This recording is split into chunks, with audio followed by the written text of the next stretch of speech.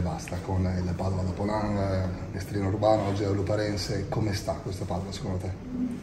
Credo che il ritiro, soprattutto quello che abbiamo fatto all'Enza, sia stato importante per staccare mentalmente. Dopo una rincorsa lunga non siamo riusciti a, ad agganciare il Sud Tirol, però abbiamo fatto tanti punti e abbiamo bisogno appunto di staccare. Le amichevoli l'abbiamo fatte sempre con le gambe abbastanza pesanti, abbiamo fatto una grande mole di lavoro, però siamo convinti di arrivare per martedì pronti e nelle migliori condizioni possibili. Rispetto all'anno scorso, pensando a questo periodo dell'anno, che differenze ci sono?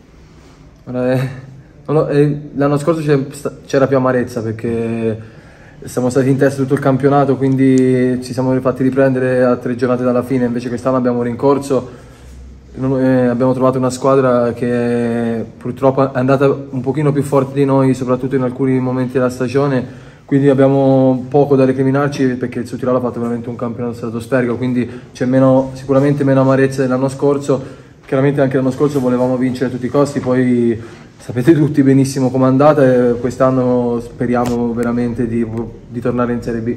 Tu come stai? Tutto bene, sto, sto recuperando la miglior condizione come tutta la squadra e spero di dare il mio contributo in questi playoff. Anche perché a centrocampo c'è bisogno, insomma, sia di gamba che di testa, adesso bisogna capire anche cosa avrà Ronaldo, gli esami cosa diranno, però insomma bisogna arrivare eh, ben concentrati, focalizzati sul primo appuntamento senza prenderlo sotto gamba ovviamente. No, quello sicuramente no, abbiamo visto che come l'anno scorso quando abbiamo fatto queste partite avere una panchina lunga aiuta molto, viste le tante partite ravvicinate se riesce ad arrivare in fondo, è impensabile che giochino sempre gli stessi 11, quindi la, la, la profondità della nostra rosa, qualora si dovesse andare avanti e, e lo vogliamo, eh, ci sarà di, di vitale importanza. Impressione mia, guardando un po' queste prime gare di playoff, sembra che il livello sia leggermente superiore rispetto magari a quello dell'anno scorso. Non so che idea ti sei fatto guardando le partite, guardando gli avversari.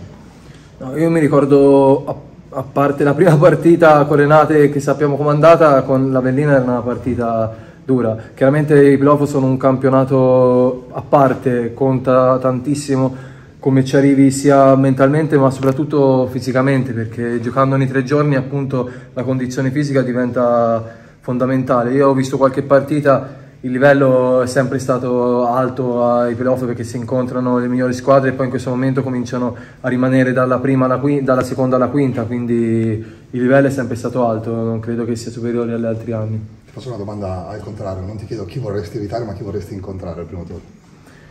E se ne parlava nello spogliatoio, in questo momento qualsiasi squadra si incontri, cioè sono tutte squadre importanti, visto che la maggior parte sono arrivate dal secondo al quinto posto, chiaramente le, le teste di serie non possiamo incontrarle, però dire preferisco incontrare una squadra o l'altra direi una bugia in questo momento, forse con due risultati su tre è meglio incontrare uno squadrone che riusciamo magari a buttarlo fuori subito, però è, è prematuro, non, noi pensiamo a noi che abbiamo dimostrato che se siamo lì belli, concentrati e compatti possiamo veramente portare a casa la Serie B. Ti chiedo l'ultima cosa, torniamo un po' dietro nel tempo di qualche giorno, insomma dammi un ricordo dall'Ansia, cosa, cosa porti da quella esperienza, da quei giorni, da quel ritiro.